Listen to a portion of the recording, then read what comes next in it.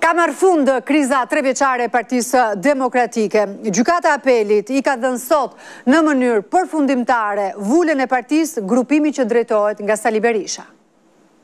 Përfundimisht vendosi mospranimin e ankimit të ushtruar ndaj vendimit numër 3 dhe 25 të gjykatës së rrethit gjyqësor Tiranë. Ky vendim i treshes së gjyqtarëve të Apelit me kryesuese Alma Ahmetin dhe anëtare Iliba Bezati e Elona Toro i dha vulën ose thënë ndryshe, njohu si përfaqësues ligjor të Partisë Demokratike, grupimin e Rithemelimit të drejtuar nga ish-kryeministri Sali Berisha. Shkalla e dytë la të paprekur vendimin e dhënë më njëzet e pesë mars të dy mijë e njëzet e dyshit nga gjyqtari Agron Zhukri, i cili miratoi ndryshimet statutore të Kuvendit Kombëtar të PD-së, mbajtur në njëmbëdhjetë dhjetor dy mijë e njëzet e një, thirrur nga Komisioni i Rithemelimit. Rrjedhimisht, edhe të gjitha vendimet që u morën në Kuvend, shkarkimi i kryetarit në atë kohë, Lulzim Bashës dhe ndryshimet në strukturën e partisë. Përfaqësues të Lulzim Bashës, Rezart Kthupi dhe Indrit Sefa pretenduan se Kuvendi dhe vendimet e dala prej tij ishin në kundërshtim me ligjin. Por Ivi Kaso, Oerd Bylykbashi dhe Ledina Mandia, si përfaqësues të grupimit të Berishës, renditën bazën ligjore për të gjithë veprimtarinë e Komisionit dhe më pas vendimmarrjeve të Kuvendit. Çështja e vulës së Partisë Demokratike kaloi një kalvar gjyqësor që nga data njëzet e pesë mars dy mijë e njëzet e dy, kur një ankim i bërë nga Enkeled Alibeaj ndaj vendimit të shkallës së parë, pasoi dy vite proces. Në një vendim të mëparshëm, Apeli kishte kthyer çështjen për rigjykim, por Gjykata e Lartë e prishi vendimin, duke urdhëruar që të dilte vetë me një vendim përfundimtar. Vendimi u mirëprit nga deputetët demokratë të pranishëm në sallë.